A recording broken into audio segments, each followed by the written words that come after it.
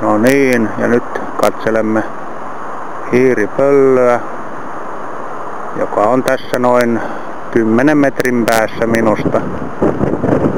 Olen nyt Lauttasaaressa täällä vesitornin lähellä. Tuuli on melkoinen.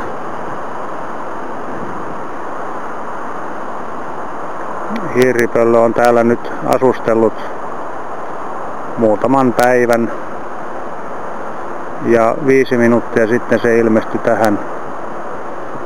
Sillä on näköjään hiiri tai myyrä kynsissään.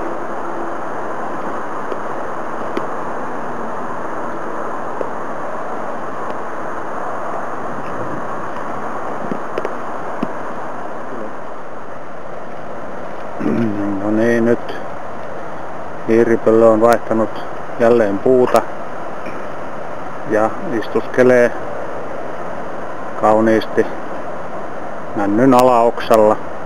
Olen edelleen täällä Helsingin Lauttasaaressa vesitornista noin 100 metriä länteen. Hiiripöllö näyttää olevan saman värinen kuin koivu, tuommoinen valkoisen harmaa.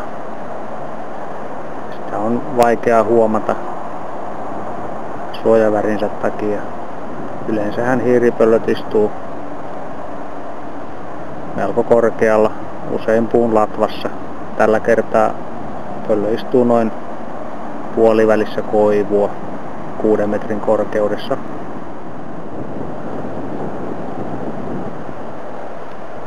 Hiiripöllöllä on suuret keltaiset silmät, niin kuin kuvasta näkyy. Ja se on pöllö, jolla on eniten haukan piirteitä. Se on niin kuin pöllön ja haukan hybridi, jos näin voi sanoa. Että kyllä se kuitenkin pöllöihin luetaan. Tieteellinen nimi on Surnia ulula, joka ilmeisesti kuvaa aika hyvin linnun ääntelyä, joka on kummallista väpätystä tai surinaa.